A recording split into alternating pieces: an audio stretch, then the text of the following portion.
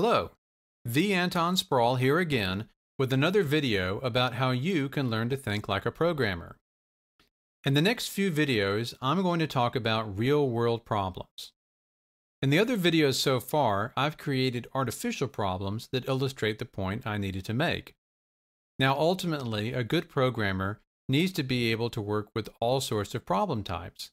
But I know that many programmers have extra trouble solving problems that are abstract or too artificial.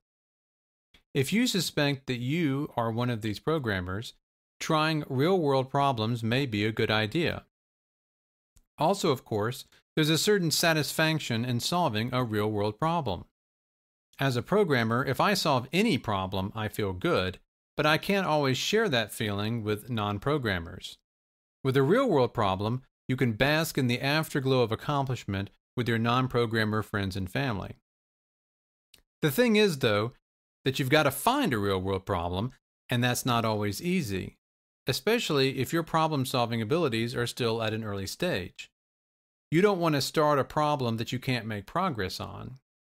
So a key tool here is one we've talked about in several of these videos, namely, reducing the problem scope. Here, what I would recommend is dividing the problem into as many separate goals as you can.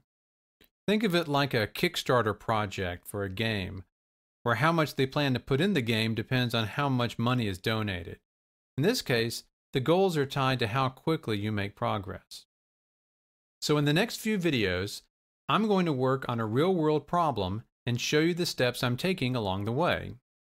This is the real deal, without me editing the results to make myself look like a genius. Some of you have noticed that the code I show in previous videos isn't always optimal, and that will be the case here. This series is about problem solving. Now, after you have a solution in hand, it's always a good idea to look for improvements or even a better approach altogether to a problem, which is something I talk more about in the book. At this stage, though, we just want something that works. So here's the problem I'm going to work on, and it relates directly to my books. You see, I draw the rough versions of the figures for my books. These are referenced in the books with numbers, like figure 5-1 and so on. The problem is that during the editing process, figures sometimes get dropped or added or rearranged. When this happens, the figures have to be renumbered.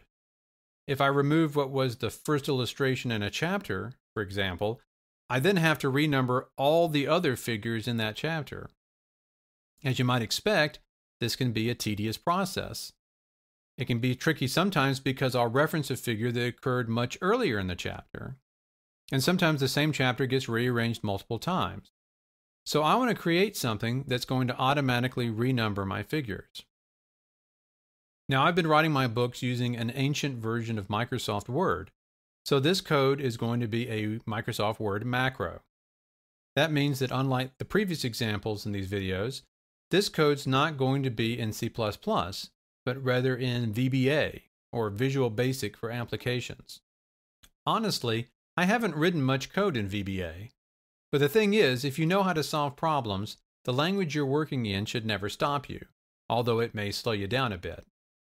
Macro programming can be a great source of good real-world problems because it often relates to the software you use all the time, and usually macros don't involve a huge amount of code. In this first video, I'm just going to properly describe what I hope to do. Here's a sample from the manuscript for Think Like a Programmer. You can see the caption for this illustration begins with the word figure and a figure number. The number before the hyphen is the chapter number, and then within a chapter, all the figures are numbered consecutively. And here is a reference to that figure. So I need the macro to do two things. First, it needs to determine what number should be used for each figure, meaning the number after the hyphen. And then all references within the text of each figure need to be correct, reflecting any changes. So that's my goal, but I'm not going to get there all in one step. In the next video, I'll get started with the code. Stay tuned.